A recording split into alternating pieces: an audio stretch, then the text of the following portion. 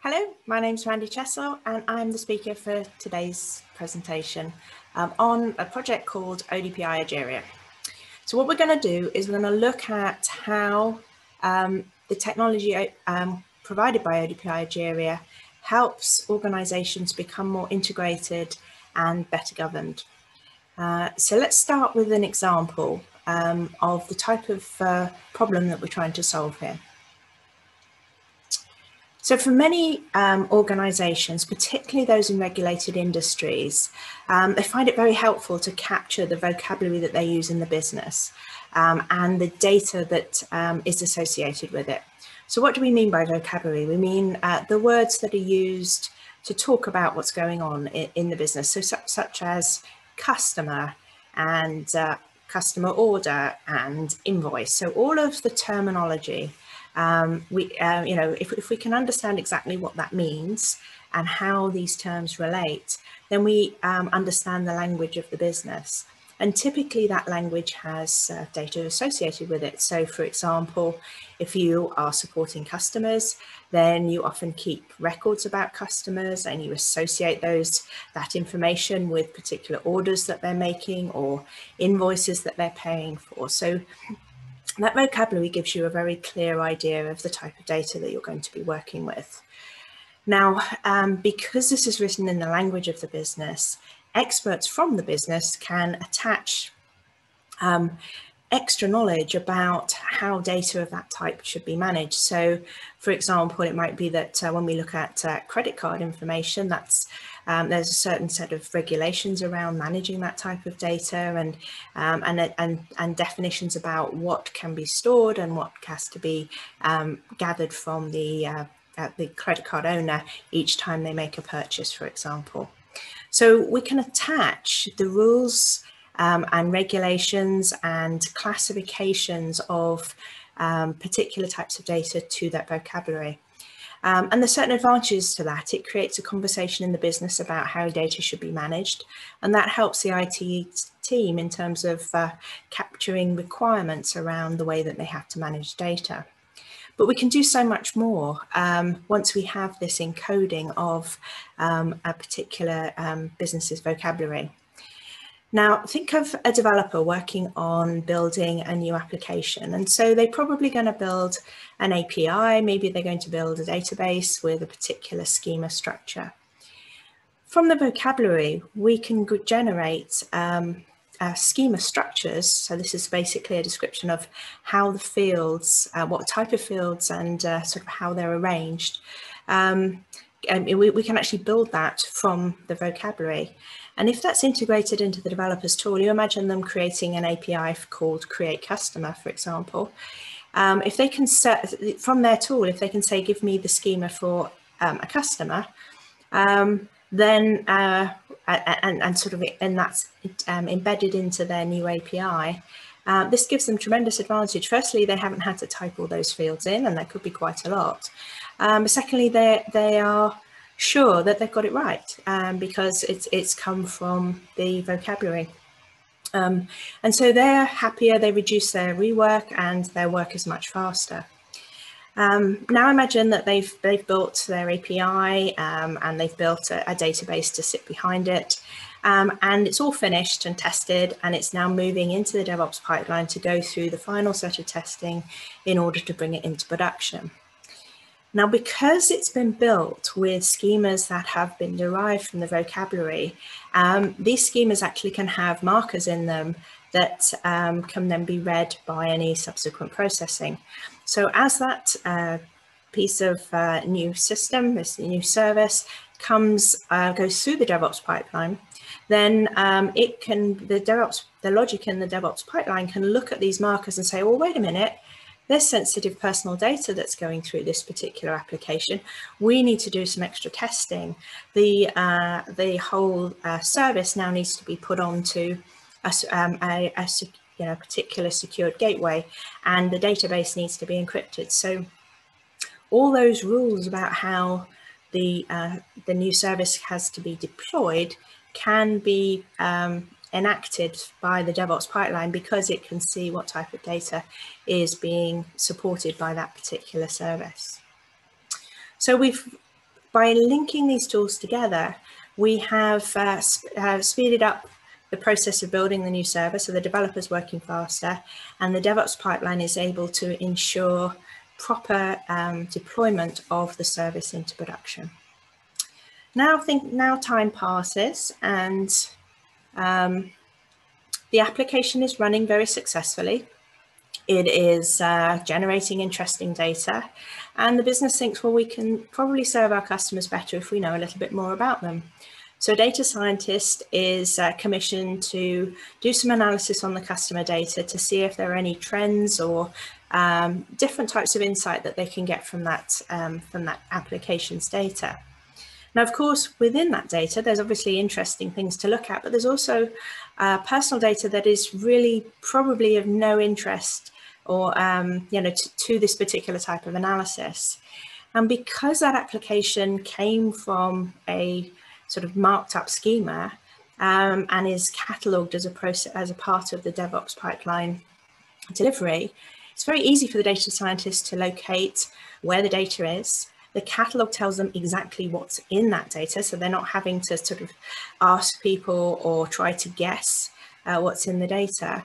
But also, as a copy of that data is brought into the data science tool so that they can experiment with it, additional governance rules, stripping out things that are inappropriate for that type of analysis can happen automatically because we understand uh, the data. So, uh, and, and this sort of story can go on. The more and more we connect tools together and take advantage of the knowledge that's been encoded by, um, by experts or by people who are, um, you know, sort of working and, and, and focusing on particular aspects of the system, the uh, higher the value that the business gets from uh, gets gets from the work that people are doing. Now, and so this is the role of um, ODPI Egeria or just Egeria um, that, uh, that, that, that, that we're focused on in this open source project. So it's it's all about enabling that flow of knowledge between people, uh, processes, tools, engines, whatever, however you want to talk about them, and, and it's particularly important when a business wants to be agile, it needs to, to change the way it's working, it needs to um, uh, embrace new types of technology, uh, and it wants its um, staff to be as uh, sort of enabled as possible, particularly when it comes to data. So it's extremely important to businesses uh, in today's world. Now, if you've been around a long time, um, which uh, in this industry, which I have, you're probably going, but haven't there been a lot of attempts to do this type of uh, work in the past? And you'd be completely correct. Uh, we actually, this is such a, an important piece of capability that we have done lots of things over the years to try and make this happen. Um, but now we're at a point where um, open source is, is very widely accepted, it's widely deployed, and there's an awful lot of recognition that sort of core infrastructure should be open and shared and used across multiple vendors. And so we're at a perfect time to, to take this type of idea and through open source um, and open governance of that open source uh, project, move, uh, move the whole um, sort of process forward so that we can get to a point where uh, that ability to flow metadata between different tools is, uh, it, it becomes an industry standard. So what's different about Egeria is that we focus very much on being open, not just in the code itself and, and the way the code operates, uh, but in the way that we operate to make sure that many people have a say in how it's developing.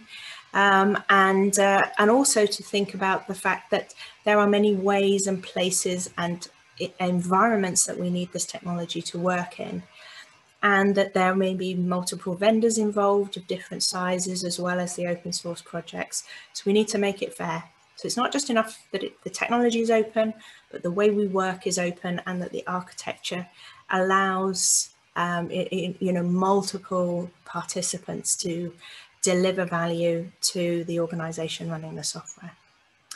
Um, the other thing is that it's a very big problem. And so as a team, we work in a very iterative uh, way, looking at the problem holistically, working through different use cases.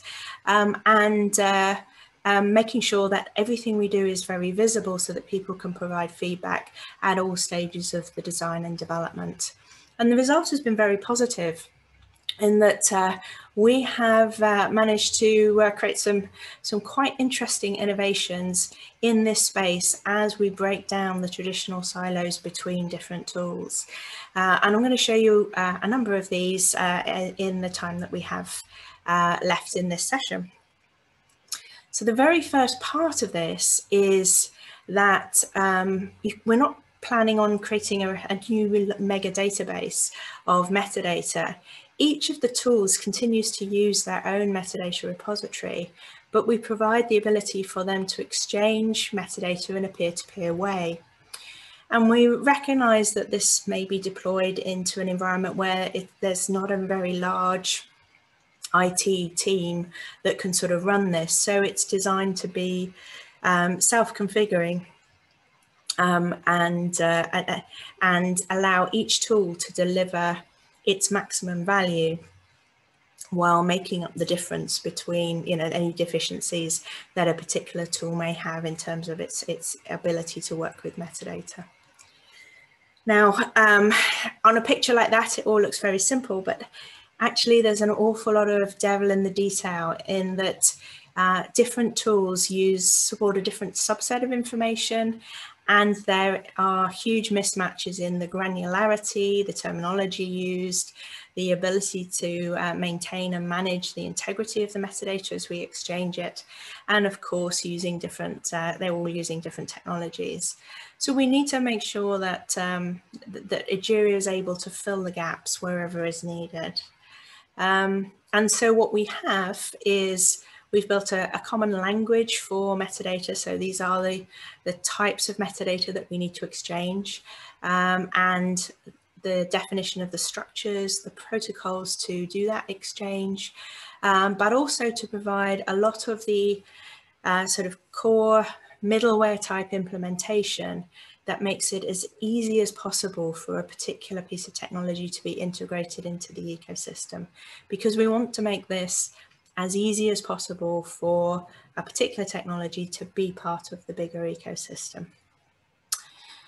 So if we looked at this from the outside, um, you would see that um, uh, Egeria is sort of the blue, the blue, cloud in the middle, um, and it is providing linkage for each tool. So each tool connects into Egeria uh, through a connector um, and is able to send and receive metadata.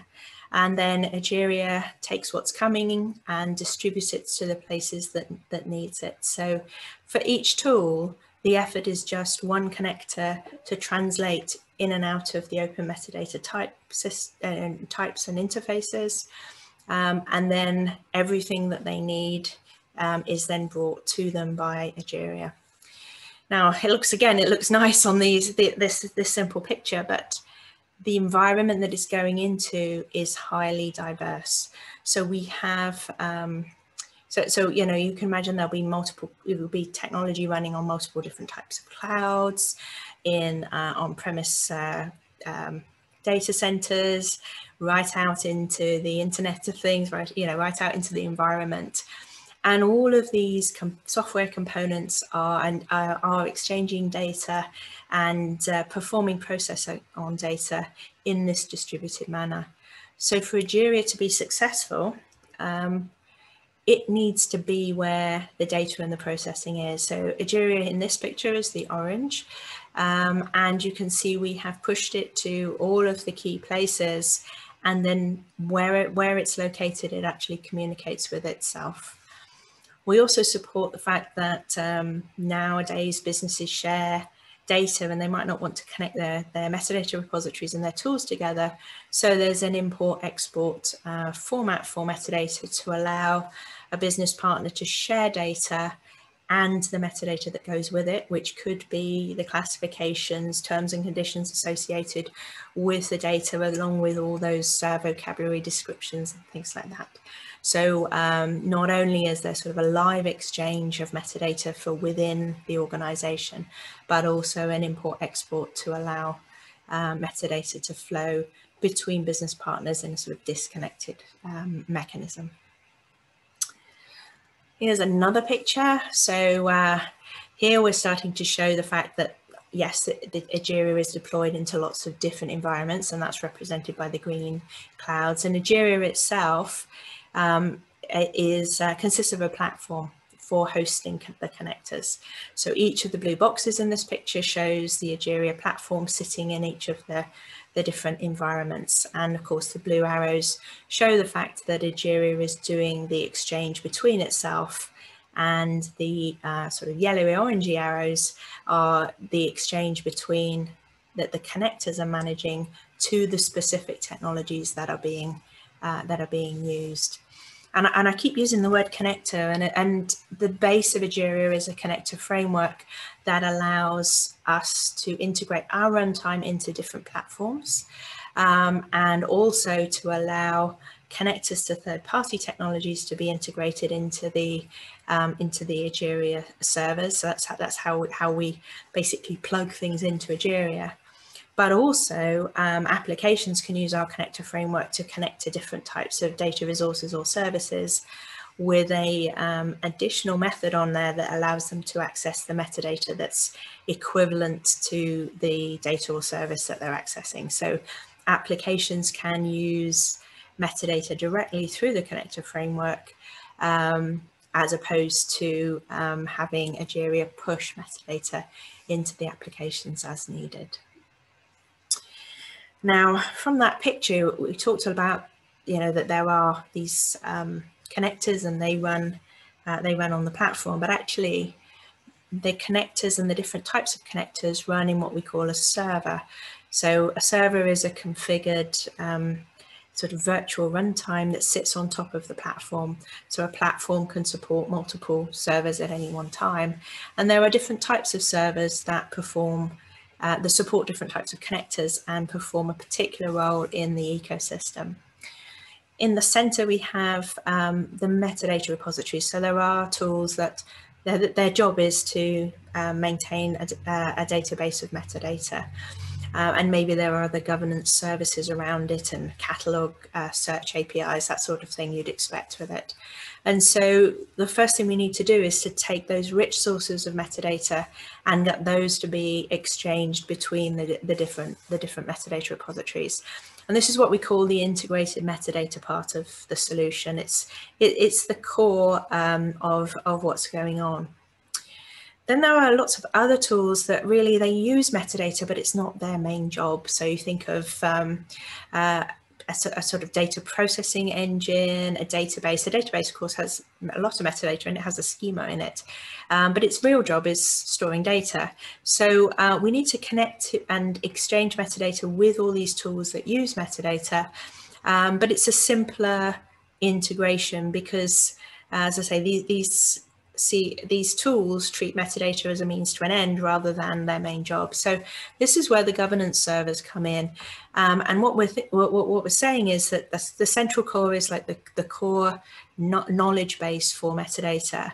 And then we need uh, to actively exchange metadata with the tools that are using it so that not only can we gather knowledge about the different resources that are being created, but we can push metadata out to configure those technologies so that they are operating in a consistent and compliant manner um, from by using the metadata in, in, the, in this way. Finally, we need to bring people into the story.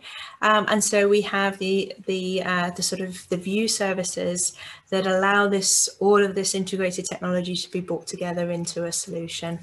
Um, and so these are services that are designed for uh, user interfaces and um, they're very much focused on enabling humans to be part of the, the bigger ecosystem.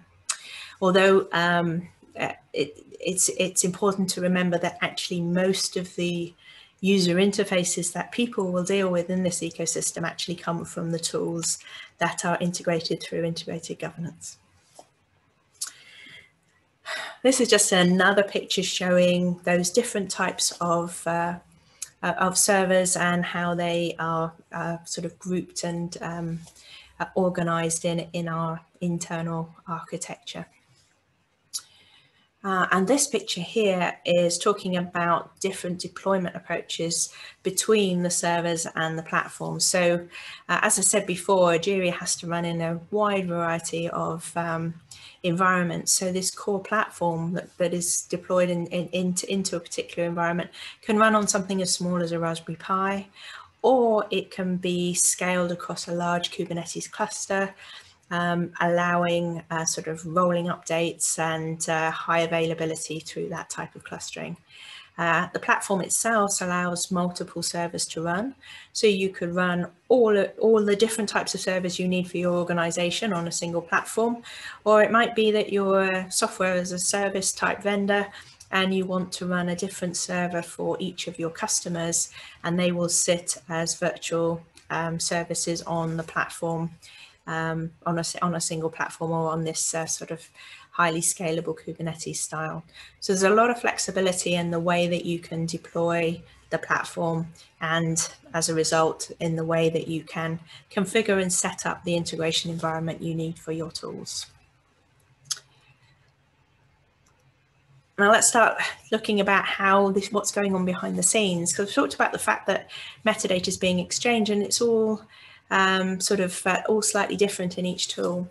So um, very that core piece I talked about, the integrated metadata, the exchange of metadata between metadata repositories, that happens in that cohort. So that collection, that peer-to-peer -peer exchange, uh, that uh, is at the heart of uh, Egeria's integration. And so different tools can connect into the cohort and they have then got uh, visibility, um, security allowing um, for all of the metadata in all of the peers or the members of the same cohort. And it's also possible, particularly where you have um, particular servers that are wanting to serve sort of in you know multiple groups, you know sort of corporate level um, services, they can join multiple cohorts, and then we'll see the superset of the metadata from the cohorts that they join. And what's happening under the covers is um, uh, the, the whole cohort is, is configured um, uh, automatically. So here we've got um, a metadata server, server one in shown in pink, and it wants to join the cohort. So it puts a registration document into a Kafka topic, which we call the OMRS topic. Then um, here's a second server joining, server two, the blue server, um, and it puts its registration document uh, into the topic and they both receive the others and they have a, a negotiated exchange. And what they're uh, exchanging is knowledge of the types of metadata they each support, uh, where they're located in the network so they can call one another um, and just making sure that they are um, compatible, compatible to exchange metadata. Once that's complete, uh, they're able to then call one another. So they can issue, um, they can combine metadata from the other server and their own metadata. So here we see pink metadata appearing in server two and blue metadata appearing in server one. Um, and, and this, you might leave it at this, but you can also set it up so that in the background, certain types of metadata are replicated um, to create copies in different repositories. Uh, and this is useful to, to increase availability, or if you have a server that's not able to do federated queries and needs to have all the metadata it's offering to its users in its own database.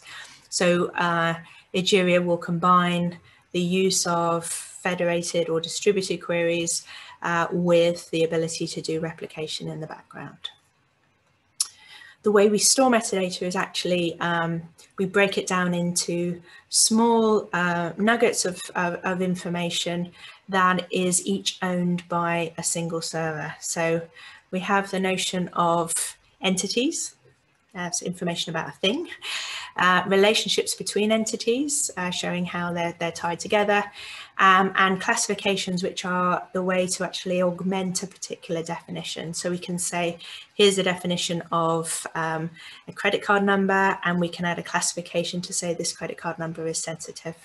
Or we could add a classification to say this credit card information has to be kept for seven years. So that's the role of the classification.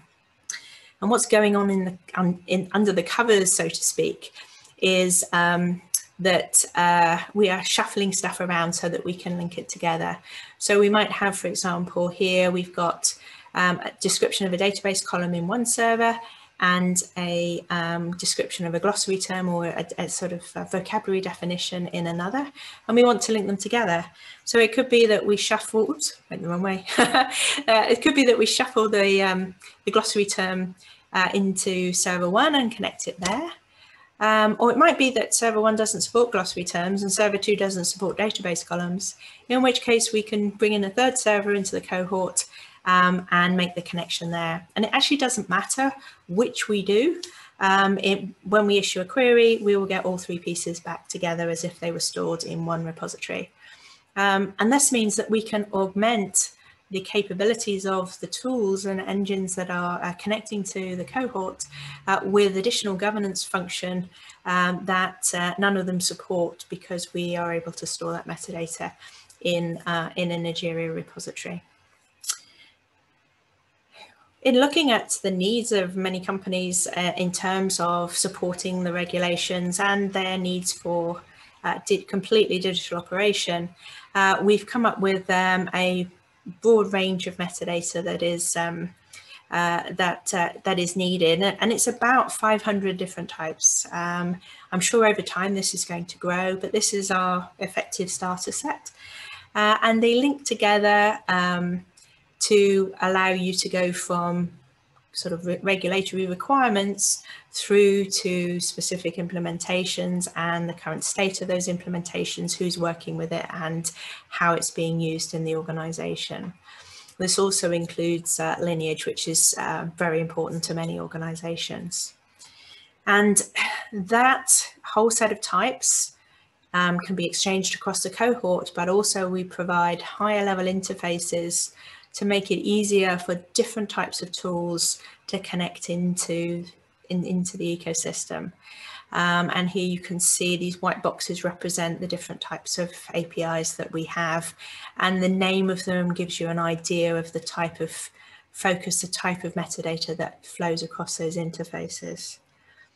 And then we need to integrate with tools. This is the uh, governance service. Um, we need to integrate with tools that have different types of capabilities. So some might, like a database typically, um, you, we can call it and we can poll it and we can pull the schemas and monitor the changing schemas within it. Other types of technology create events when things change and we can listen for those events and use them. So we support a variety of um, different uh, integration patterns and then they can be built up to allow us to not only automatically extract metadata from the different types of tools, but push metadata to other technologies to allow that technology to be configured for different types of scenarios. So here we're building um, views over data as it's captured and brought into a particular um, data lake uh, to allow um, the virtualization engine to act as an access point where additional security can be applied to the user to the calls from users of a, of a data lake. Um, there's also quite a focus on user interfaces in, uh, in Egeria at the moment, particularly allowing people to connect to a repository and explore the content, to look at the types that are supported in each server and how the servers are connected together in the, in the ecosystem. Um, and um, the vendors that we're working with, we're working with uh, a lot of uh, household names when it comes to vendors, are looking at it um, from their own internal perspective, linking together different versions of their products or where multiple versions of their product are deployed across an enterprise or um, making, uh, taking advantage of the integration with different technologies that Egeria provides, um, or expanding the amount of metadata that they can access to. So there's there's a huge range of opportunities that um, uh, that Egeria can provide to a particular vendor and to open source projects um, in general. The way we operate is um, uh, we have um, a very modular architecture and we've been, which we've been working through building up increasingly um, uh, a more sophisticated APIs to enable the integration. And uh, as I said before, we're very open in terms of how we operate. So you'll see if you look at our Git repository, there are some things that are released functions and other things that are actually uh, still in progress and at different levels of, of development. So uh, the way we work is each month we create a release and that has uh, whatever's ready uh, is, is then incorporated in the release. Um, and from here you can see the green areas are the released and uh, sort of tech preview type um, uh, function. Orange means that there's active development work going on. Red means that it's uh, uh, it's still in negotiation. So it's pretty much a, a, paper exercise at this point as to what's in that particular function. Um, and um, uh, let's see what we got. Oh yes, this, this picture here is just showing roughly where we're focused on. As you can see, uh, good focus on integration, user interfaces, and looking at expanding the capability, the ability to capture uh, lineage and those controlled vocabularies. So um, what do we get from Egeria? Egeria is, to say, open source, distributed, um, ability to connect together different tools and allow an organization to be far more agile and um, build and share knowledge uh, far more effectively, even though they use tools from lots of different vendors and open source projects. So thank you so much for listening um, and uh, I will hand over to the next talk.